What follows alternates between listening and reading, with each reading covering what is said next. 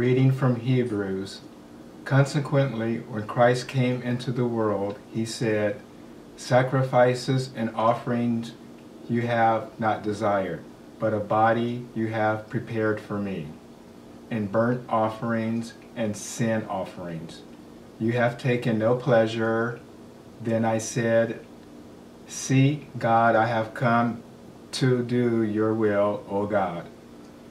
In the scroll of the book, it is written of me, when he said above, You have neither desired nor taken pleasure in sacrifices and offerings, and burnt offerings and sin offerings.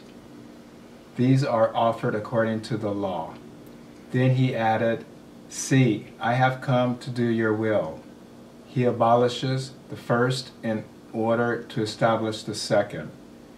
And it's by God's will that we have been sanctified through the offering of the body of Jesus Christ once and for all, the word of the Lord.